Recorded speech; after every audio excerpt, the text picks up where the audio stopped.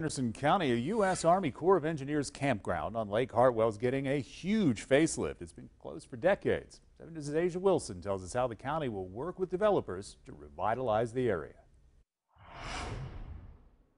Anderson County leaders tell me Ashbury Park and Campground has been closed for 20 years, but soon this 40 plus acres of land will have a water park and much more.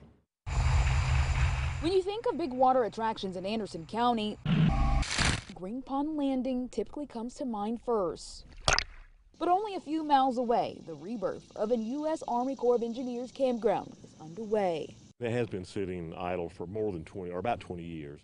Burriss Nelson, director of the Anderson County Economic Development, says they will work with Lake Hartwell Development Group to revamp the old park, and it'll be called the Shores of Ashbury. We think this is a great opportunity to revitalize uh, a recreational area on um, Lake Hartwell, and there's a demand for it. My father-in-law's lived here for quite some time, and so uh, I think it could be a good thing. The more than 40 acre campground will have a floating water park with inflatable slides and floating cabanas. It will be the first of its kind along Lake Hartwell.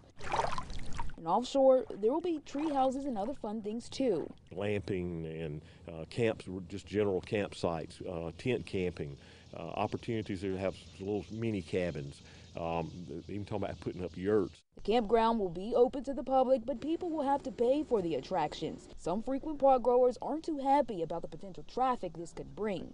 You get too many people here, you can't enjoy yourself.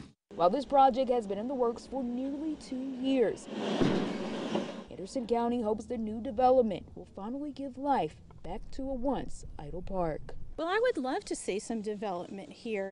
Now, Nelson with Anderson County Economic Development says this project should start within the next six weeks, and they expect it to be completed by April of next year.